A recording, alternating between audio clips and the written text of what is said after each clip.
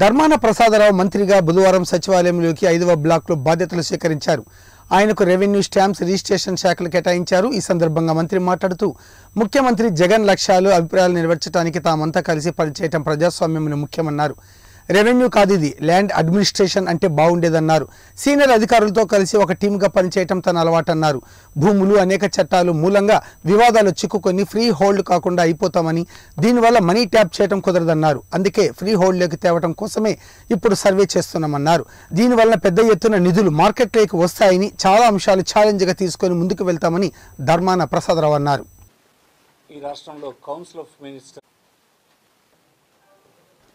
So ముఖ్యమంత్రి గారు గౌరవనీయులు జగన్మోహన్ రెడ్డి గారు. రెవెన్యూ స్టాంప్స్ అండ్ రిజిస్ట్రేషన్ శాఖను నాకు కేటాయించడం జరిగింది. మీ అందరికీ రెవెన్యూ మినిస్టర్గా కొంతకాలంగా కొంతకాలం క్రితం పరిచయస్తున్నాయి రాష్ట్ర ప్రజలందరికీ కూడా పరిచయస్తున్నాయి అయితే నేడు శ్రీ జగన్మోహన్ రెడ్డి గారి నాయకత్వంలో ఉండేటువంటి ప్రభుత్వానికి రెవెన్యూ మంత్రిగా పనిచేస్తున్నాను సహజంగా ముఖ్యమంత్రి గారి లక్ష్యాలు అభిప్రాయాలు నెరవేర్చడానికి ఈ టీం అంతా పనిచేయాలి అదే ప్రజాస్వామ్యంలో ముఖ్యం. ఒక్కొక్కరు ఒక్కొక్క బాధ్యత నిర్వర్తిస్తూ ముఖ్యమంత్రి గారు నిర్దేశించినటువంటి లక్ష్యాల వైపు అతని ఆశయాలు నెరవేర్చడానికి అతనితో కలిసి ఒక టీమ్గా వర్క్ చేయాలి అందరూ. అందుకోసం ఇందులో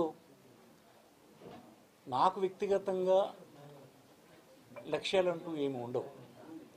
ఈ ప్రభుత్వానికి ఉండే లక్ష్యాలు నాయకునిగా ముఖ్యమంత్రికి ఉండే లక్ష్యాలు నెరవేర్చడానికి ఒక మధ్యవర్తిగా ఒక శాఖ నిర్వహిస్తున్నటువంటి మంత్రిగా రాజ్యాంగానికి లోబడి పనిచేయాల్సినటువంటి అవసరం ఉంటుంది.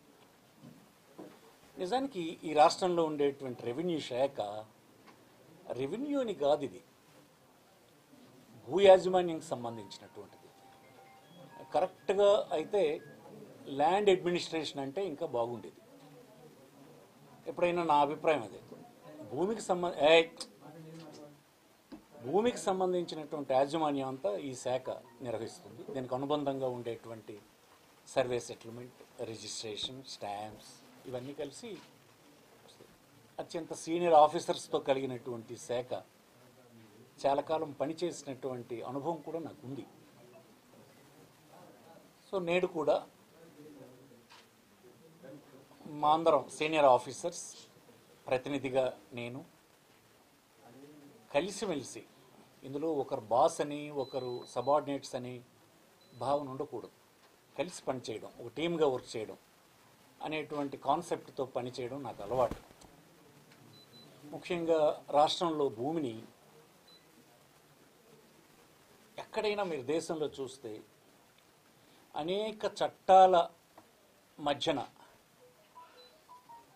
వివాదాల మధ్యన వివాదాలు ఏర్పడి ఫ్రీ హోల్డ్ కాకుండా ఉండిపోతాయి.